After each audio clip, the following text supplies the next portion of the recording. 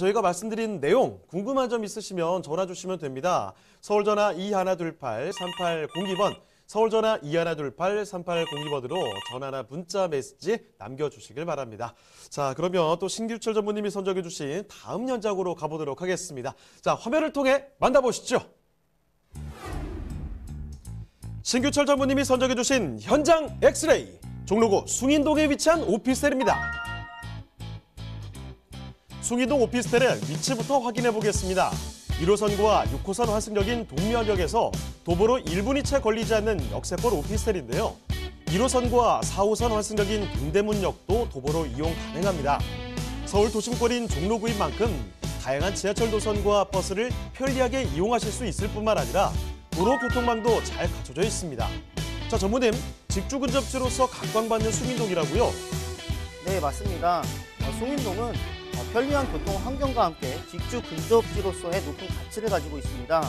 서울의 대표적인 상권이 동대문과 남대문이 굉장히 가까이에 있고 주변의 여러 재래시장까지 이런 관련 종사자들이 선호하는 주거지역이라고 할 수 있겠습니다. 또한 도심권 업무지구로서의 출퇴근도 굉장히 편리하기 때문에 직장인들이 많이 찾는 그런 입지를 갖추고 있다고 설명드릴 수 있겠습니다. 소개드리는 오피스텔은 2020년 5월 준공 예정인데요. 지하 2층에서 지상 17층, 총 128세대로 구성되어 있습니다. 내부를 보시면 평형에 비해 굉장히 넓게 보이는데요. 입주자에게 맞춰 공간 활용도를 극대화했다고 합니다. 특히 빌트인 냉장고, 드럼 세탁기, 천정형 에어컨, 빌트인 빨래 건조대, 인출식 식탁, 전기 쿡탑 시스템 가구 등 full furnished 시스템이 적용돼 주거 만족도까지 높였습니다.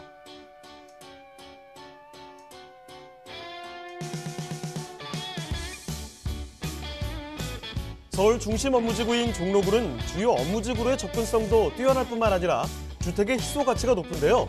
풍부한 배우 수요와 편리한 접근성, 그리고 쾌적한 주거 환경으로 인구 집중과 상권 활성화까지 기대되는 종로구 숭인동의 오피스텔입니다.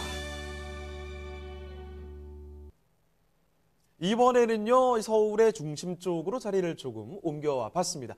종로죠. 어, 종로구 숭인동이라는 건데 여기도 또 오피스텔 만나보겠습니다. 자 어떤 곳인지 개요부터 소개를 해주시죠. 네, 어, 먼저 1호선과 6호선 더블 역세권인 동묘 압력에서 도보로 약 한 20초 거리에 있는 초역세권 현장입니다. 어, 전용 면적은 15.43제곱미터가 되겠고요. 계약 면적은 24.13제곱미터가 되겠습니다. 어, 총 17층 중 4층을 안내해드리고 있습니다. 어, 준공 예정은 2020년 5월 준공 예정이고요. 예상이 되는 매매 가격은 1억 5천6백만 원입니다. 네, 그러면 건물의 특징도 좀 봐주실까요? 네, 어, 건물 외관도 굉장히 신경을 써서 깔끔하게 지어지고 있고요. 지하 2층에서부터 지상 17층까지 총 128세대 대단히 오피스텔입니다. 어, 실내에도 보시면 에어컨, 세탁기, 냉장고, 붙박이장까지 어, 풀 옵션을 모두 갖추고 있고 세입자들이 이렇게 몸만 들어와서 살아도 될 정도로 완벽한 시설을 갖추고 있고요. 평수에 비해서 구조가 굉장히 잘 나와 있어서 1인 가구들이 생활하기에 전혀 불편함이 없는 그런 현장이라고 설명드리도록 하겠습니다. 자, 일단은요, 여기 빠르다라는 걸로 설명을 좀 드릴게요. 아까 선유도와 비교해 봤을 때는 지금 여기 조금 더 빨리 만나볼 수가 있겠죠? 2020년 5월에 준공이 됩니다. 지금 약간 추운 이 계절 조금만 지나고 나면 바로 만나보실 수 있겠고, 거기다가 지금, 어 동묘역에서 지하철에서 2분, 아니죠, 20초 단위가 다른 거예요. 엄청 가까운 거죠. 여기에 지금 오피스텔이 올라가고 있는 겁니다. 거기다가 지금 혼자 사시기에 완벽하게 적합한 조건들. 그러니까 이 full furnished 시스템 바로 몸만 들어가시면 이 자리에서 생활이 가능한 공간이라는 거죠. 아, 이 옷은 챙겨 가셔야 되겠죠? 자, 이런 건물의 특징들, 장점들 챙겨 봤는데요.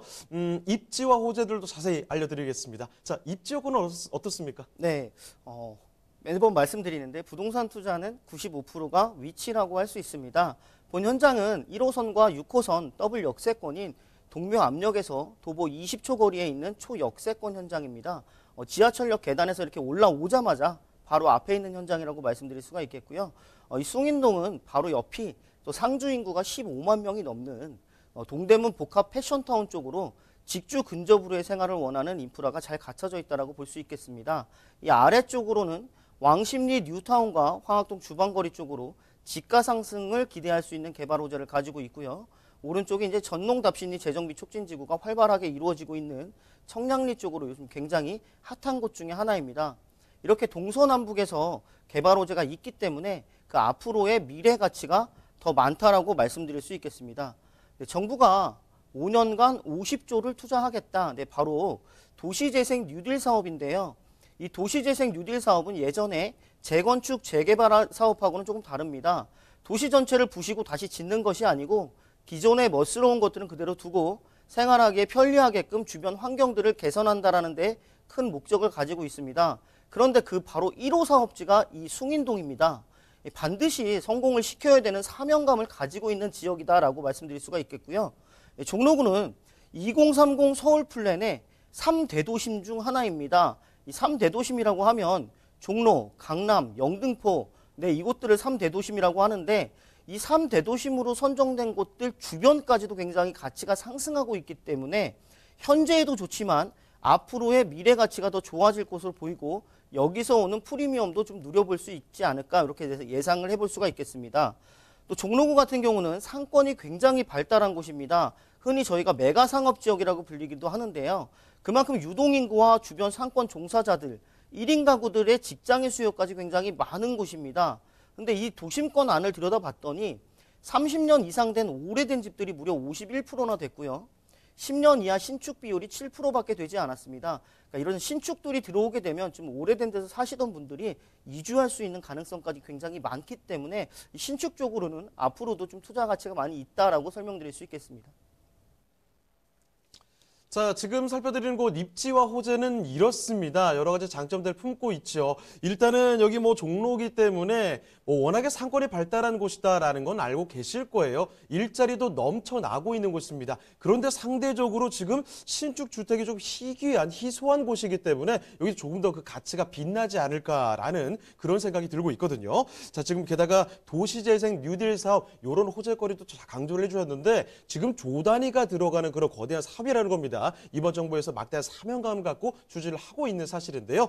자, 입지 호재 좀 정리를 해드렸는데 자 그렇다면 아, 이번에 이 가격적인 분석도 도와드려야 될 것 같습니다. 자, 그럼 가격 분석도 좀 도와주시죠. 네, 어, 젊은 직장인들이나 대학생들에게 굉장히 인기가 좋죠. 원룸형 구조로 되어 있고요. 어, 매매 가격 또한 굉장히 경쟁력이 있습니다. 어, 예상이 되는 매매 가격은 1억 5,600만 원입니다. 어, 서울 시내에서도 참 찾아보기 힘든 가격인데 이렇게 3대도심 중 하나인 종로의 이 가격이라면 굉장히 경쟁력이 있을 거고요. 어, 저 예상이 되는 전세 가격 또한도 1억 4,500만 원까지 굉장히 높게 형성이 되어 있다 보니까 실제로 전세를 안고 투자를 원하시는 분들은 소액인 1,100만 원이면 투자가 가능하실 거고요. 월세도 1,000만 원에 60만 원까지 굉장히 높게 형성이 되어 있다 보니까 어, 대출금 약 1억 920만 원 정도를 활용을 하신다라고 하면 4천만 원 이하로도 바로 월세를 받을 수 있는 그런 현장이라고 정리하도록 하겠습니다.